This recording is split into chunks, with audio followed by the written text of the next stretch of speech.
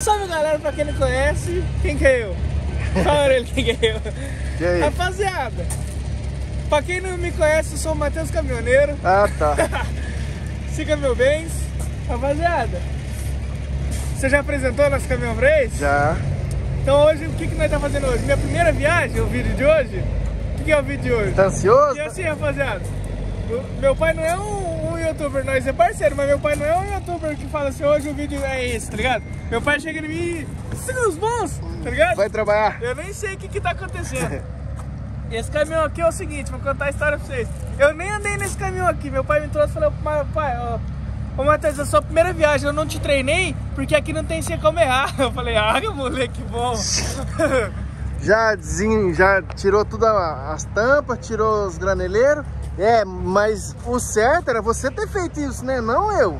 mas eu ajudei. Não ajudou nada. Cadê os graneleiros? Tirei tudo graneleiro, ó. Tamo aqui, rapaziada, pra carregar. Olha lá. Rapaziada, Tá eu nervoso? esperei esse dia. Eu sei, velho. Já me deu sete dor de barriga, mas eu esperei muito por esse dia, velho. Já fui ali com os caminhoneiros ali, já me ensinaram as, as manhas. Os caras falaram que não tem segredo. É isso aí. Não vejo a hora de colocar um, um poeta dos caminhoneiros ali.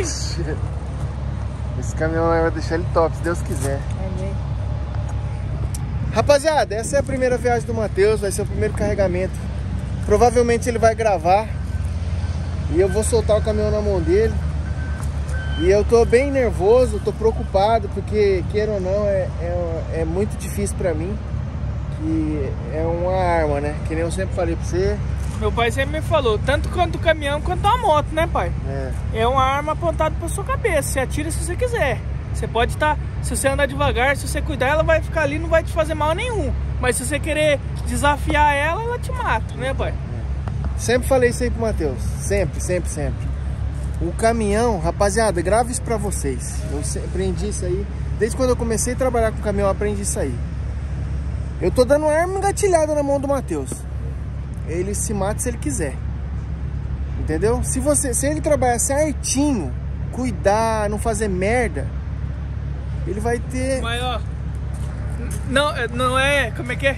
Te desmascarando Ah. na frente dos seus inscritos. Sim. Não que isso seja o que ele queira. O que você fala? Me dá um caminhão. Não, é. Entendeu? É, Você vai dar um caminhão pra trabalhar. Meu pai quer que eu vá estudar também, né? Que nem todos os pais querem.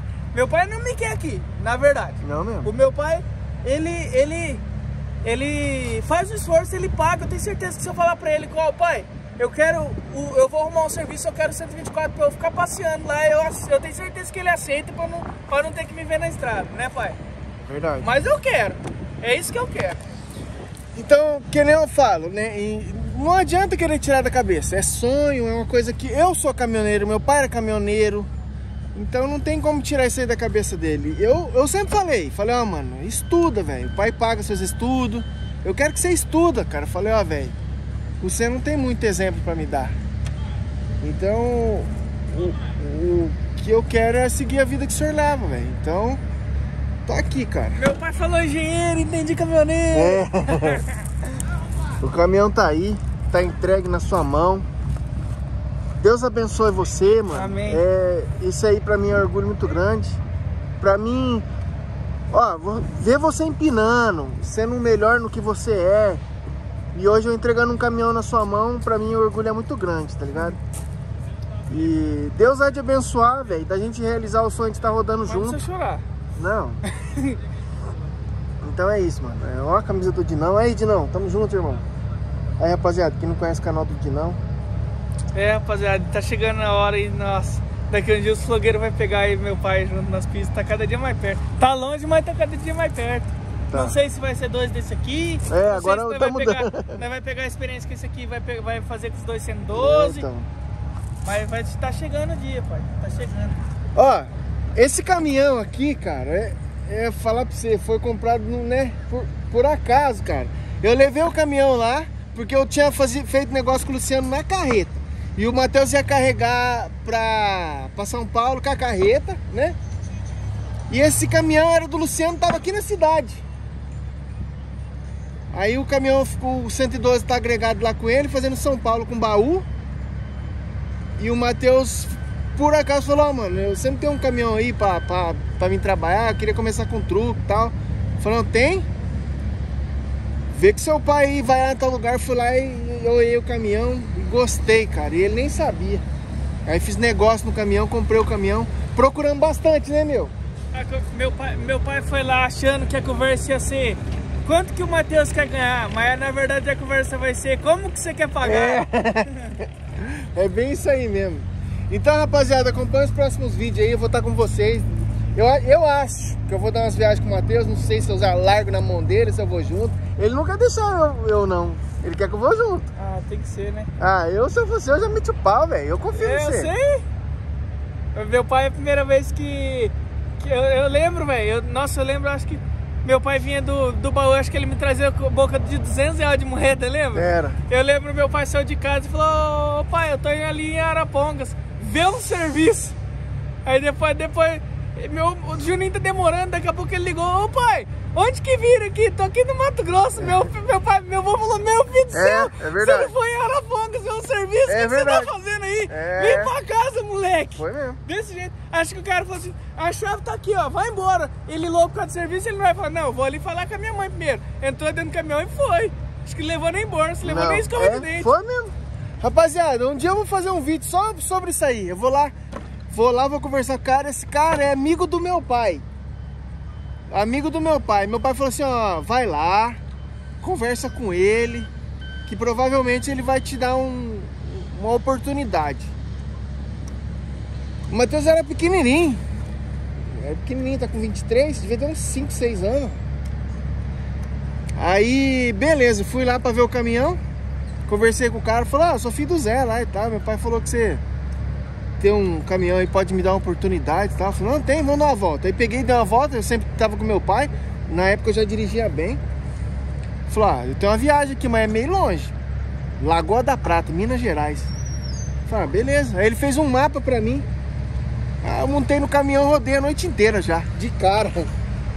Carregado de sofá, pau torou. Cheguei lá de manhãzinha cedo, rodei direto, direto.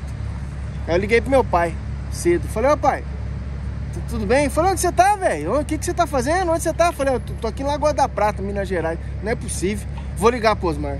Uhum. Aí desligou o telefone na minha cara. Gostou não? Não, não, ele não acreditou, é? Aí ligou pra mim de novo. Falou, meu Deus, o que, que você tá fazendo aí? Eu falei, ô pai, é o seguinte, velho. Já descarreguei aqui. Como é que eu faço pra ir pra São Paulo? Meu pai me explicou pelo celular, velho. Fui perguntando, alguma dúvida eu ligava pra ele. Meu pai, tudo que eu aprendi Hoje você tem GPS, velho. Hoje você tá no céu. Eu não, eu ligava pro meu pai, ô pai, eu tô aqui em tal lugar, é assim, assim, como é que eu faço? Meu pai foi explicando, foi explicando. E eu cheguei lá para carregar, carreguei de São Paulo. São Paulo eu carreguei para Londrina, para Dora... Nova Andradina. Carreguei para Nova Andradina. Deu um giro, velho. Uma semana na estrada, meu primeiro eu, rolê. Eu acho que é por causa dessa época aí que eu gosto tanto de Sendoso, porque eu acho que toda viagem você trazia um daquele de madeira pra É, mim. lembra? Toda viagem que eu chegava eu ganhava bem, cara. É um moleque tinha porra nenhuma, não esquentava a cabeça com nada. E não, tinha gasto. Morava com minha mãe, né? Motoboy. Arrumou um serviço de carreta, é, começou a ganhar é. três vezes mais. De motoboy eu fui trabalhar com carreta, baú. Imagina, cara. Se eu tivesse esse canal naquela época, hein? Primeira viagem com baú de 18 metros, sozinho. Mas é isso, rapaziada. Obrigado pelo, pelo carinho. A gente vai fazer. Acompanha lá no canal do Matheus Vou voltar gravando. Ele vai gravar indo lá, entrando, porque eu não vou poder entrar com ele. E a hora que ele entrar também, eu quero ver quem me segura. Eu vou vazar embora. Você tá se doido? vira aí. Beleza? Ele vai gravar os vídeos lá no canal dele, vai mostrar ele entrando, carregando, fazendo tudo bonitinho pra vocês aí, beleza? Vai lá no canal dele lá que vai ter vídeo. Tamo junto aí. É nóis. Fui.